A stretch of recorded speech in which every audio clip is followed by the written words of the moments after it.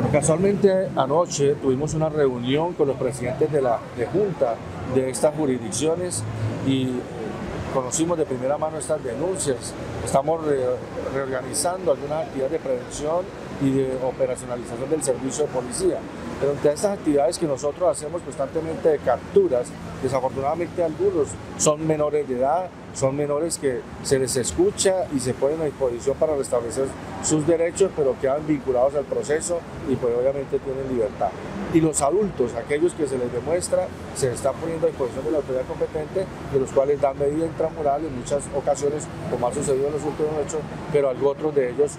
tienen eh, casa por casa vinculados a los procesos. Pero aquí es un llamado a la ciudadanía para que nos coayuden a la información, a recolectar las evidencias necesarias a través de videos para que este acervo probatorio tenga mucho más fuerza y peso y las autoridades competentes tengan realmente eh, las,